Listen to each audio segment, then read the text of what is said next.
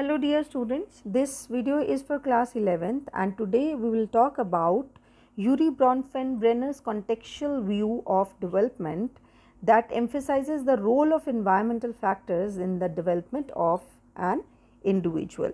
So according to Urie Bronfenbrenner, children need people in order to become a human. So he has given the different environmental system like layers, five layers he has discussed in the development of child that is microsystem, mesosystem, exosystem, macrosystem and chronosystem. So, now we will talk about the microsystem. It is the layer nearest the child, it comprises a structure which the child directly interact with the immediate environment. It is in these settings where the child directly interact with the social agents like family, peers, teachers, neighborhood. Now the next layer is the mesosystem. Now this layer serves as the relationship between two or more microsystem.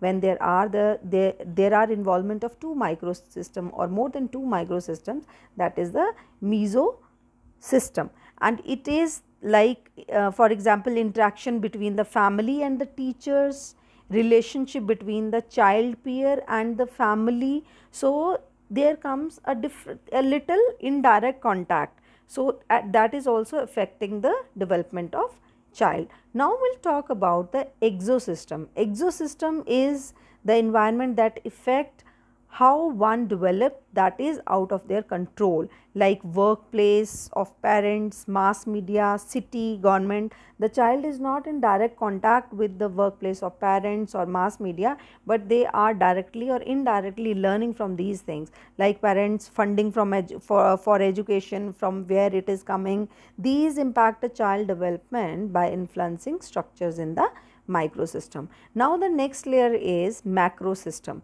It is a large cultural and the social cultural element of the environment that shapes human development and they are also called as social and cultural values. For example, marriage ceremonies, then this coronavirus pandemic, some kind of disease. So, it all comes under your macro system and it influences the societal values, legislation, financial resources provided by the society to help families and function and it also influences the interaction of all other layers.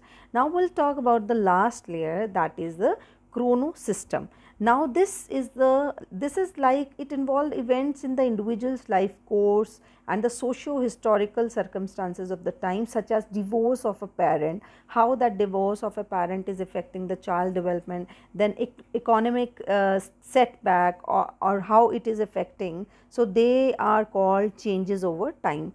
For example, I have already discussed a family through a divorce or a nation going a war, how it is affecting the uh, overall development of a child that comes under the chrono system. So, Urie Bronfenbrenner has given the five important layers uh, that is affecting the uh, the development of the child and according to him the, it is this ecological system theory says that school family peer peer group, neighbors, culture, all of them influence our child's development. I hope you have understood the topic. Thank you and have a nice day.